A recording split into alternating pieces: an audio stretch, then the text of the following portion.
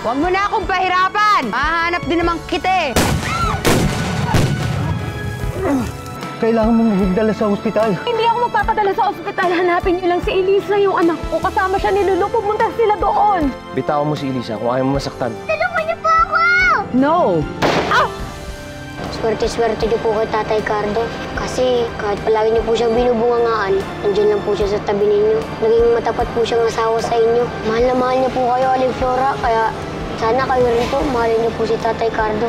Itay, gumising ka! Itay! Dadali na siya sa ospital. Gagamutin siya ng mga doktor dun. Katugtuhan mo ko. Hindi ko nasabihan yung pagmamahal na binigay mo sa akin. Hindi na kita lolokohin. Kakalimutan ko na talaga si Chito. Carlo, gising ka? Carlo, narinig mo yung sinabi ko? Ano mo nagawa sa akin yun, Flora? Ano mo nagawa sa akin yun? Kailan pa kami may relasyon ni Chito?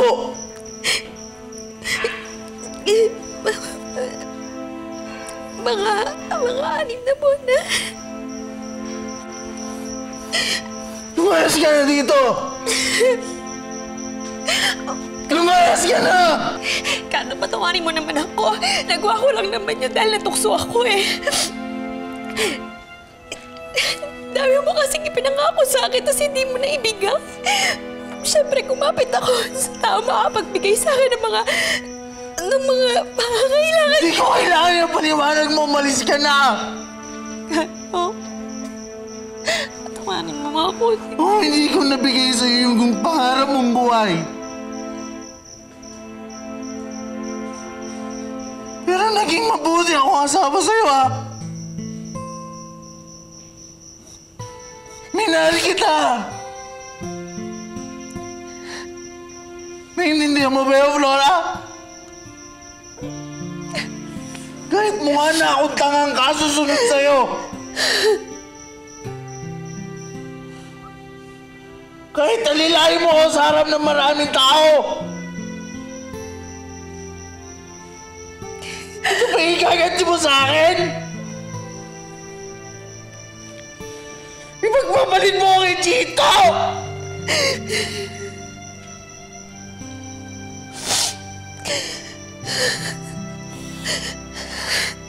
Malis ka na!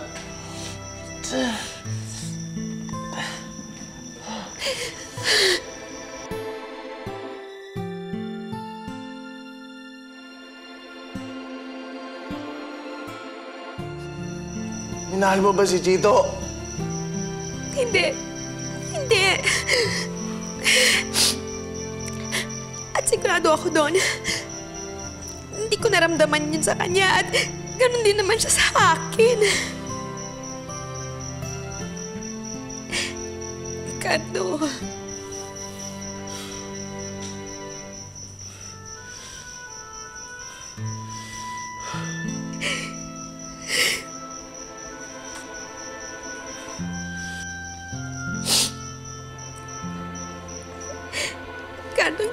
perfecto. Nagkamali ako, pero...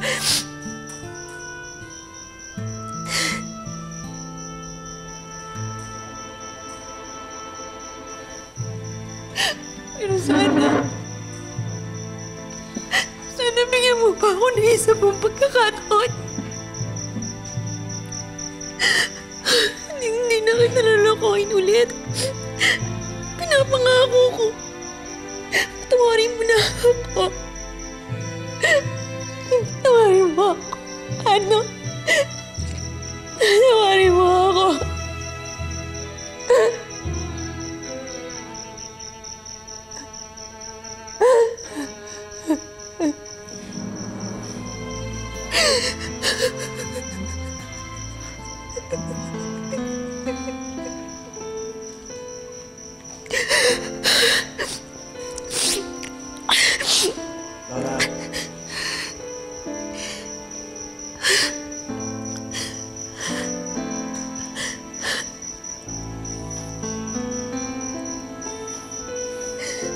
Minahal mo ba ako? Oo. At mahal pa rin kita.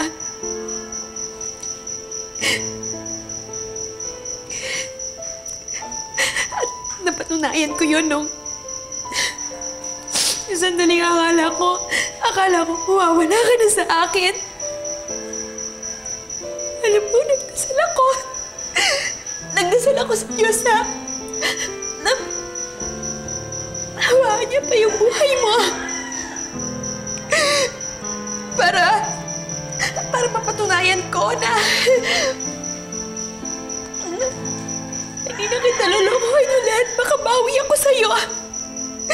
Papakita ko sa'yo na mahal kita.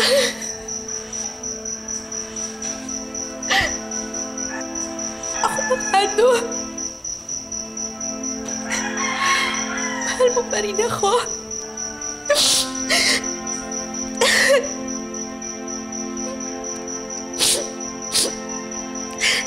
mga ginawa mo sa akin. Lahat-lahat. Tatanggapin ko. Kasi mahal pa rin kita.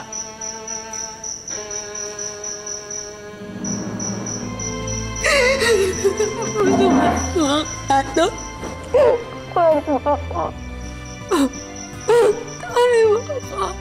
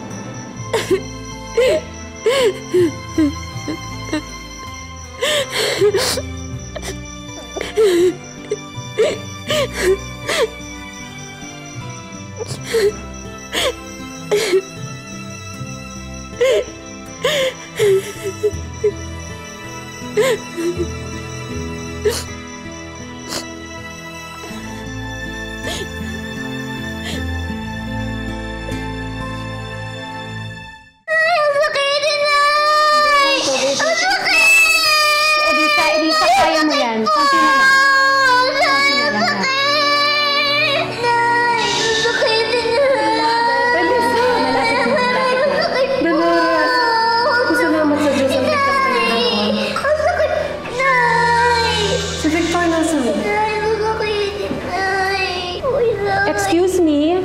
Kayo po ba ang kamag-anak ni Mr. Victor Guizon? He's my son. Kumusta na po siya? Lumabas po sa aming mga pagsusulit na nagkaroon siya ng mild head trauma at may simple fracture din ng kanyang mga binti nang dahil sa aksidente. Ano pong dapat natin gawin kung ganon? Well, to give his brain a rest, I suggest we put him in a drug-induced coma. Dapat din siyang operahan para maibalik ang nadisforma niyang binti. Doktora, gawin niyo po ang lahat. Kung kailangan niyang operahan, gawin niyo po para maibalik siya sa ayos. Sige po, ma'am. Nurse? Yes, Doc? Pakikuha ng consent form si Mrs. Guison at pakihanda na rin ang operating room. Nag-aalala po ako kay Kitay. Huwag kang mag-alala, anak. Magiging maayos din si Tatay Victor mo. Ang sama-sama po talaga ni Ma'am Lilu. Pati si Itay dinamay niya. Alisa, huwag kang mag-alala sa tatay mo, ha? Ililigtas siya ng Diyos tulad ng ginawa niya sa inyong dalawa ng mama mo. Kasi mabait siyang tao. Walang mangyayari sa kanya masama, ha?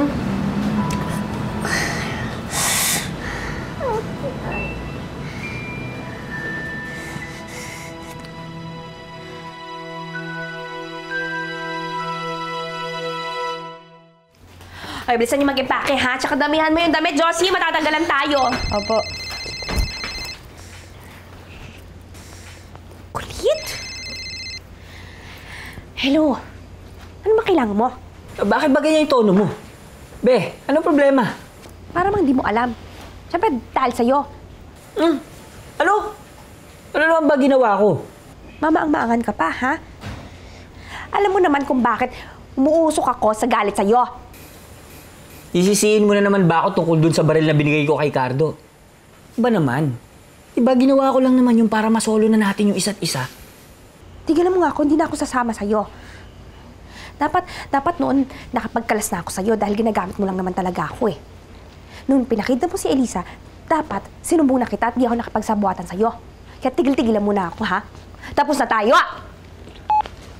Hello? Hello? Wisit na babae yun ah. Binagsakan ako. Anong nangyari? Nakipag-break sa'yo si Flora. Mukhang malaki tampo sa'yo, insan ah. Walang kumakala sa akin. Siyang? Ha? Okay lang po ba kayo? Parang may kaaway po kayo kanina eh. Customer? At tapos na po kami mag-impake, pwede na po tayo umalis. O siya, halika na. Okay naman na po. Hintayin niyo na lang pagbisita ni Doc mamaya. Sige, salamat to, nurse.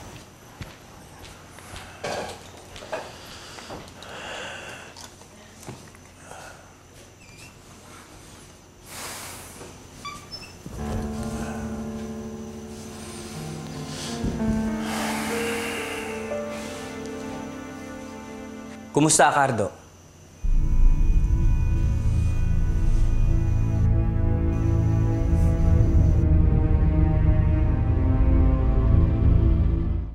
Ginagawa mo rito? Lumabas ka, lumabas! Para naman yatang mainit ulo mo sa akin. Huwag ka na magkunwari, Chito. Umamin na sa akin si Flora sa namamagitan sa inyo. Di ka na nahiya. Unang biniktima mo yung kapatid ko, ngayon naman yung asawa ko. Yun ba? Eh, ano magagawa ko? Yami kasi yung mag-anak ko eh.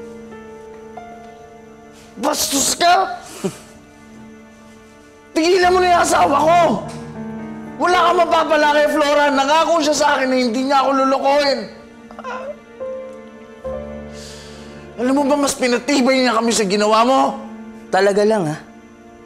Matibay kayo? Ha? Eh paano kung sabihin ko sa'yo na hindi lang yun yung kalokohang ginawa sa'yo ni Flora? Ha?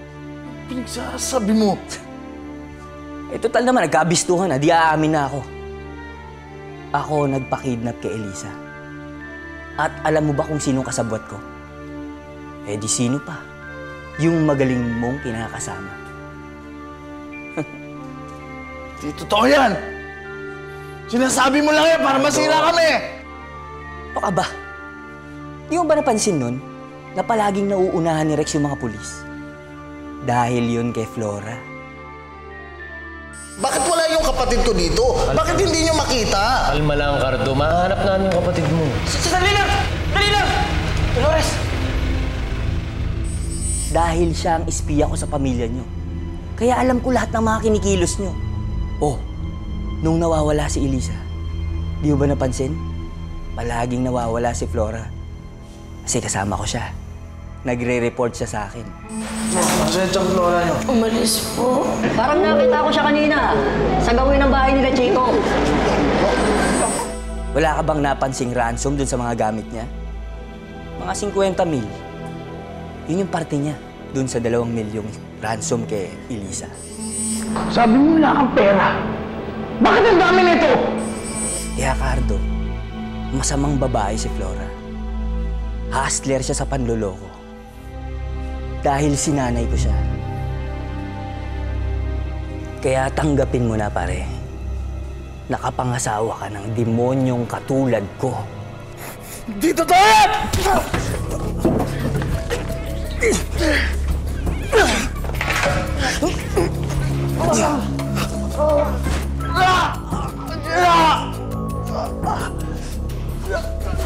Ah!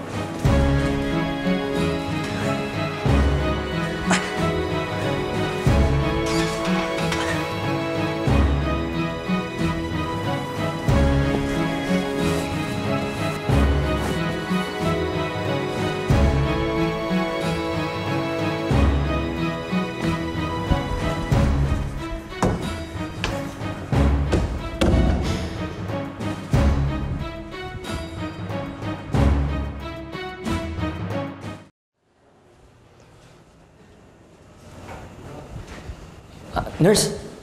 Nurse, may narinig akong parang humingi na sa lolo kanina doon sa taas eh. Saan po? Ah, room 401 yata. Ah, sige, patingnan ko.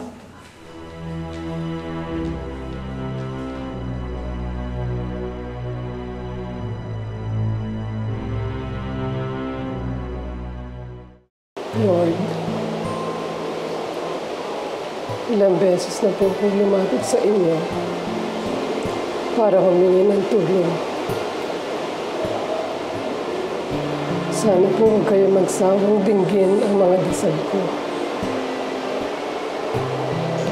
Lalo na po ngayon.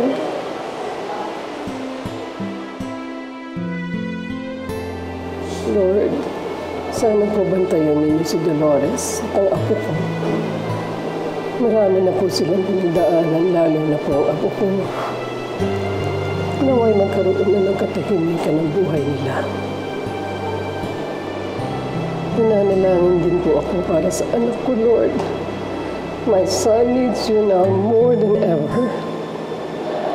Gabayan po ninyo ang mga doktor na mag-oopera sa kanya, Lord. He is my only son. Hindi ko po kakayanin kapag nawala siya sa akin.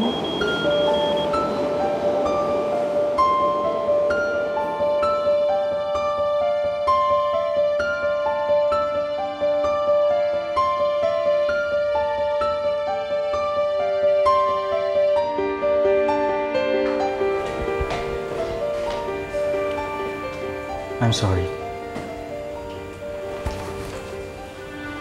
Ano pong I'm sorry? Ano nangyari ba sa asawa ko? Huwag kayong mabibigla, pero patay na siya.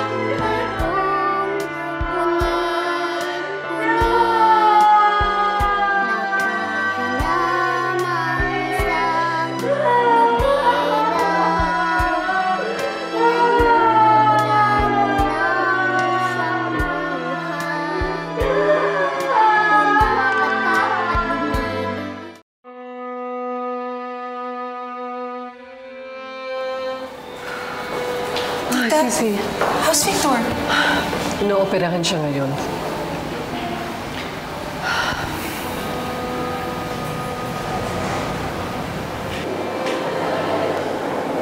Mrs. Guison? Doc, kumusta na po anak ko? Pansamantala pong tumigil ang pagtibok ng puso niya. Pero we were able to bring him back. Ligtas na po si Victor.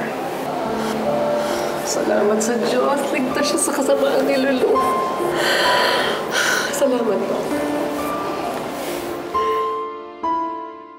Hey! Dahan-dahan lang kayo. Follow you! Don't touch me! Dahan-dahan Don't touch lang. me! Kailangan ko makaalis sa ospital na to. Nakabulog ko si Elisa. Ah! Ah! Stop it! Dahan-dahan, dahan-dahan. What are you doing? Itaas niyo pa, itaas niyo pa. Pakawalan niyo ako. You! Pakawalan niyo ako dito. You! Hey! Hindi pa natin pwedeng ilabas si Miss Vita. Dahil kayo! Dahil kaka-opera pa lang niya. Oh. Let's wait for at least a week para maghilom ang sugat niya. Hey! You! Kasalanan mo lahat to. Pakawalan mo ako dito. Papatayin kita.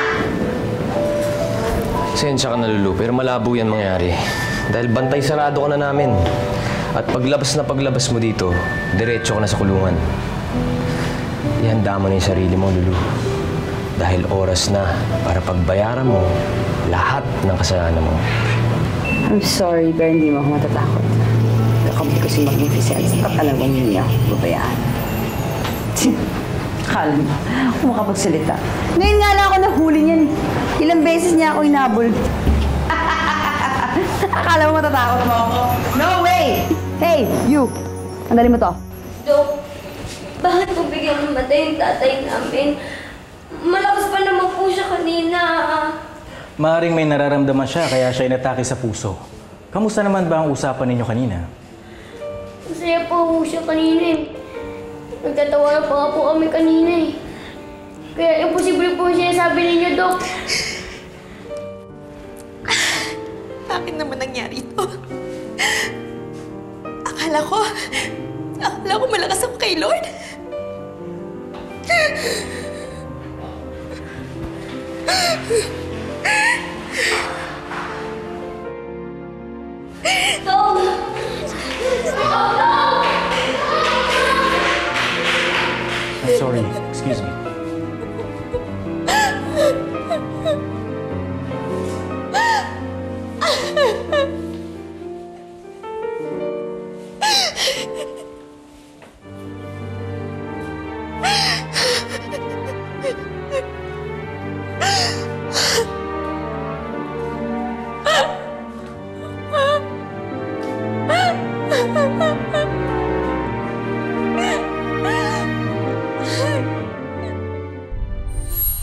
Bakit pagalit na galit ka sa akin? Kung meron kang dapat sisihin dito, dapat si Dolores at si Elisa. Sila may kasalanan. Ang balita ko, may dala siyang baril pero wala namang balak.